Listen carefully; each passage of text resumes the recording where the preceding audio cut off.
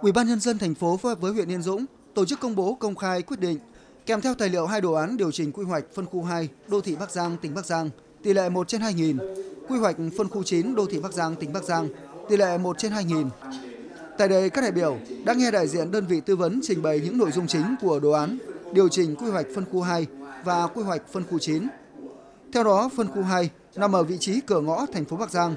thuộc địa giới hành chính các phường xã Lê Lợi, Dĩnh Kế, Tân Tiến, Dĩnh Trì thuộc thành phố Bắc Giang và xã Hương Gián, Xuân Phú, thị trấn Tân An thuộc huyện Yên Dũng.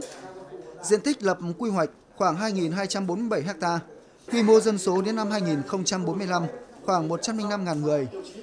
Phân khu 2 là đô thị phức hợp, trung tâm mới đa chức năng của thành phố Bắc Giang, có không gian đô thị sinh thái gắn với cảnh quan cây xanh mặt nước và các công trình dịch vụ công cộng cấp đô thị.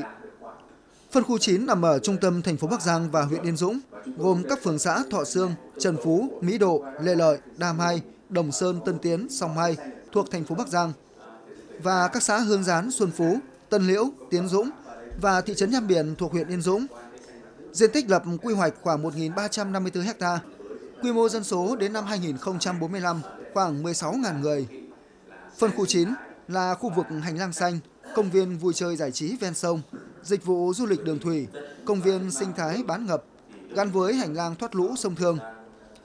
Đồ án điều chỉnh quy hoạch phân khu 2 và đồ án quy hoạch phân khu 9 tỷ lệ 1 trên 2000 được duyệt đã cụ thể hóa các định hướng quy hoạch chung đô thị Bắc Giang, tỉnh Bắc Giang đến năm 2045, tỷ lệ 1 trên 10.000 đã được Thủ tướng Chính phủ phê duyệt tại quyết định số 1685 ngày 26 tháng 12 năm 2023. Vì vậy, đại diện lãnh đạo Phòng Quản lý Đô thị thành phố nêu rõ hai phân khu này đã được đăng tải trên cổng thông tin điện tử thành phố. Đề nghị các đơn vị theo chức năng nhiệm vụ tiếp tục công bố, giới thiệu nội dung quy hoạch đến các nền tảng thông tin, đẩy mạnh tuyên truyền, phổ biến sâu rộng các nội dung cốt lõi của quy hoạch tới cán bộ, công chức viên chức, các doanh nghiệp, nhà đầu tư và cộng đồng dân cư.